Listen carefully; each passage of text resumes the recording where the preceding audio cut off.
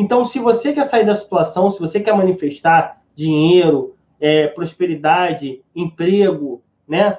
É, é, é negócios, relacionamentos, você deve mudar a, o teu pensamento, o teu modo de agir e ter 100% de confiança em Deus. As fichas, depositar 100% em Deus.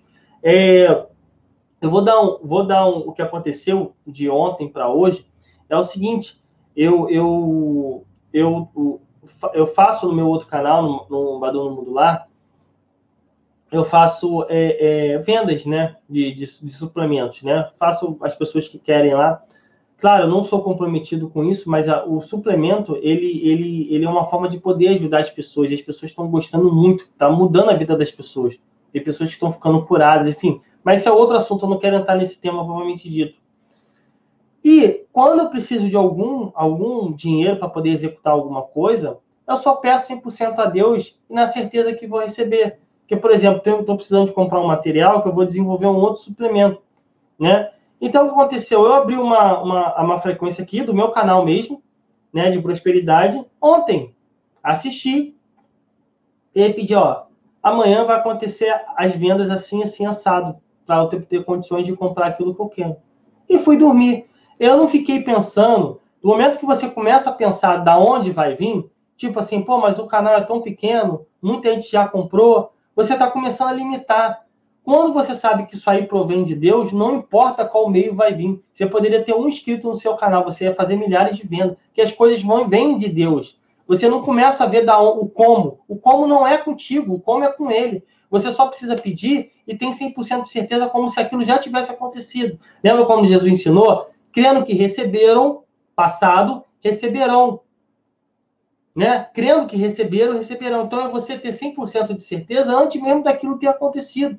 Jesus estava ensinando. Que, ensinando. O que aconteceu? Hoje, quando, quando hoje, ao longo do dia, foi tendo as vendas assim do nada, um monte de pessoa que eu não conhecia, tal, e consegui o recurso, né, que eu, que eu, que eu tanto almejava. Aconteceu de ontem para hoje. Então, isso que eu estou falando aqui, pessoal, não é uma conversa fiada, é algo eu coloco em prática. É algo que eu sinto. Você que está me assistindo aí, né?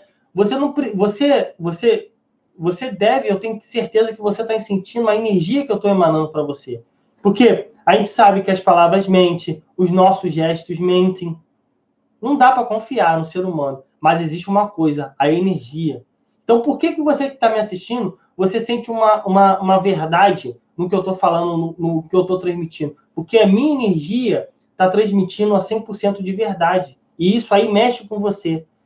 É, é, a questão da energia, ela é evidente, ela é prática no nosso dia a dia. Você, por exemplo, você não está num ambiente, chega uma pessoa, ou você pode ser até amigo da pessoa, você nunca viu a pessoa, e você, essa pessoa não está bem.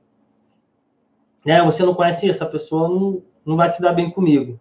Não sei o que é. Você nunca viu a pessoa, nunca falou com a pessoa, nem às vezes nem enxergou a pessoa, mas você sentiu a presença dela.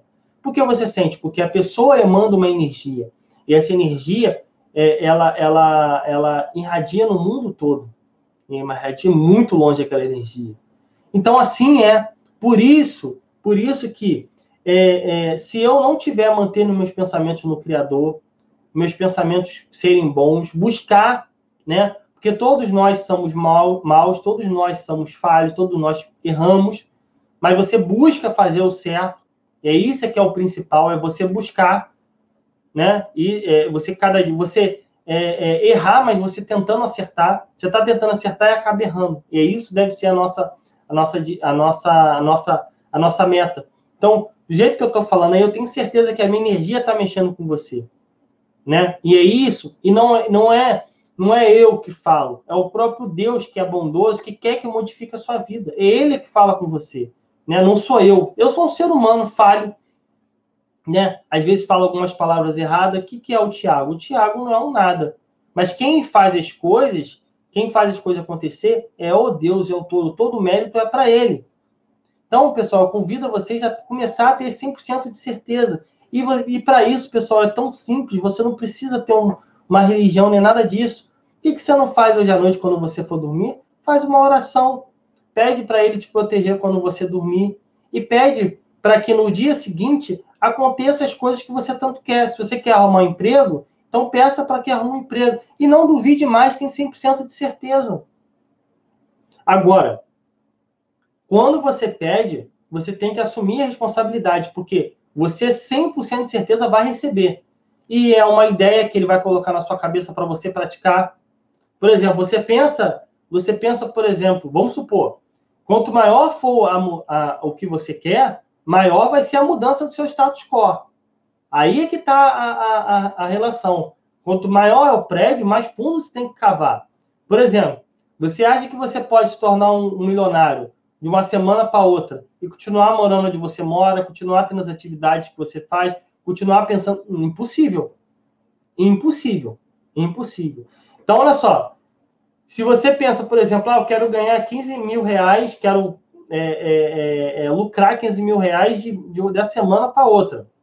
Se você pensa assim, você vai receber. De repente, a, a ideia que vai vir, ó, um teu colega, um teu colega te chamou, ó, vem para o estado tal, total, a gente está querendo montar um negócio aqui para a gente poder trabalhar não sei o quê. Deus colocou.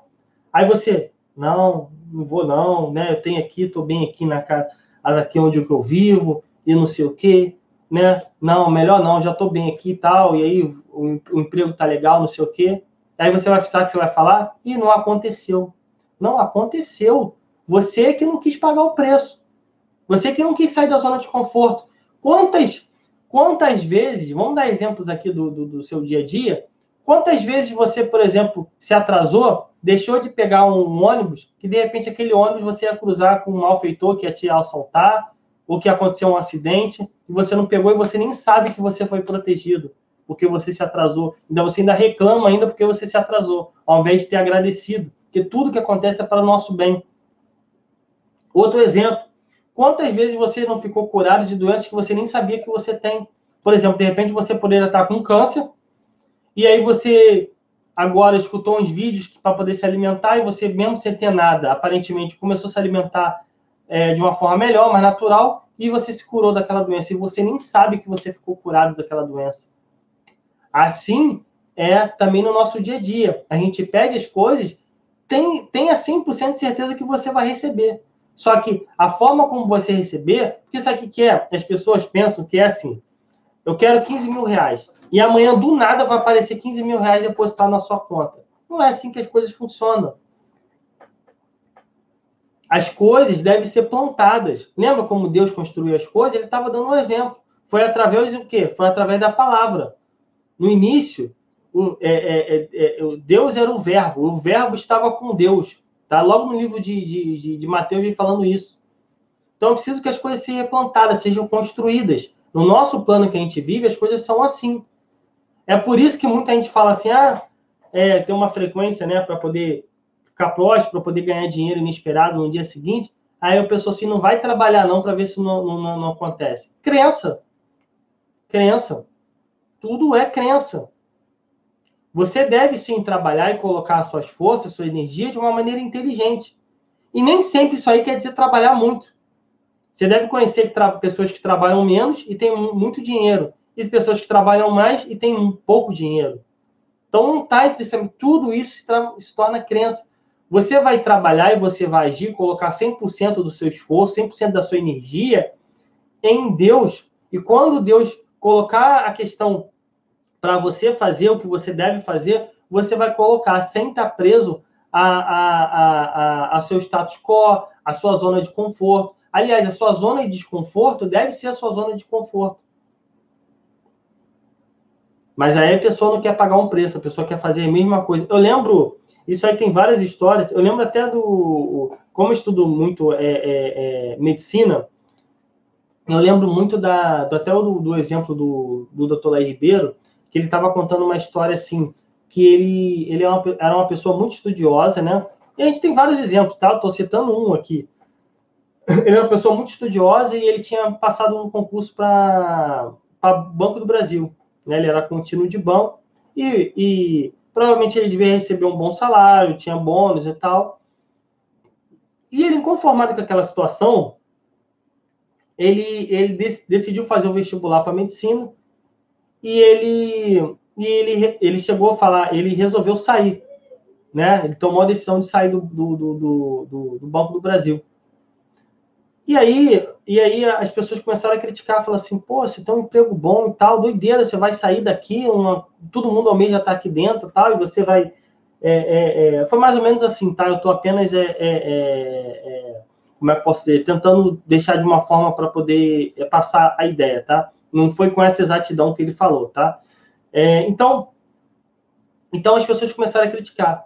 E ele, 100% na certeza que ele ia conseguir aquilo, ele falou assim: até o, o mês tal eu vou passar em primeiro lugar e vou sair aqui. Então ele falou para todo mundo que já ia sair. Quer dizer, se não desse, se ele tivesse medo, se não desse certo, ele ia passar vergonha, na, na verdade?